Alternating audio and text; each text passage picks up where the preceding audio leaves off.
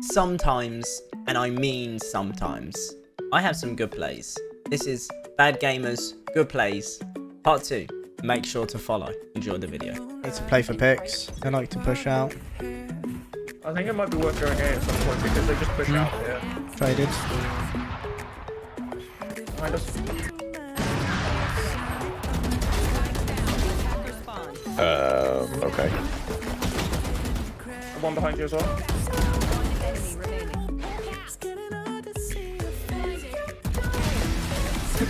Q prick. Okay, Let's go.